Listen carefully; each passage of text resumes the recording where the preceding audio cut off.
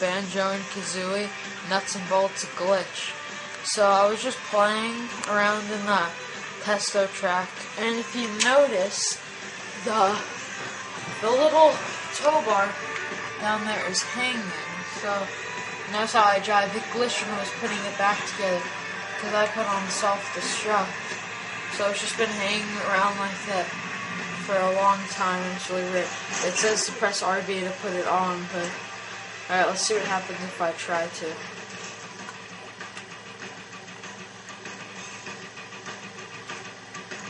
It's not even working. It's just glitching. I'm still doing that. Alright, thanks for